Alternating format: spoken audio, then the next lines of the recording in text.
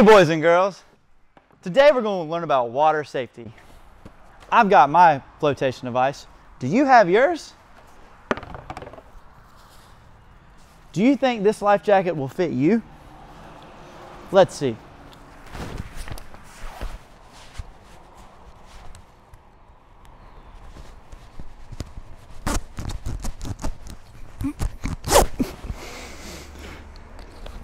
It sure fits me. I don't think this will fit you. This, likes, this looks like more of your size.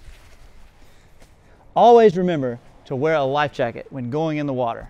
If you don't think you can swim or if you struggle with swimming, always wear your personal flotation device. These personal flotation devices will keep you safe and your head above water. Come over here with me. These are beach safety flags. Always remember, double red flag is means our designated water area is closed. When you see a double red flag, remember no swimming at all. No swimming.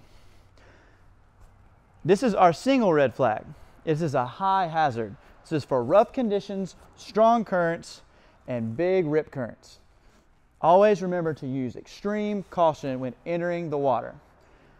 Lifeguards and emergency officials advise no swimming when there is red flags flying. Over here is our yellow flag. This is our medium hazard flag. This is for light surf, medium rip currents.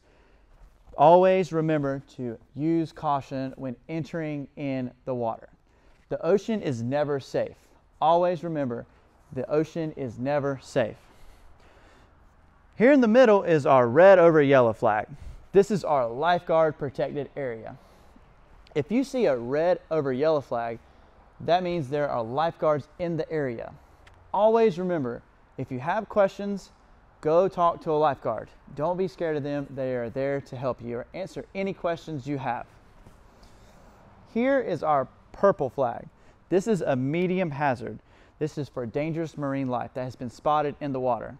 If you see a purple flag, there could be jellyfish, stingrays, or other wildlife in the area. Always use caution when going in the water.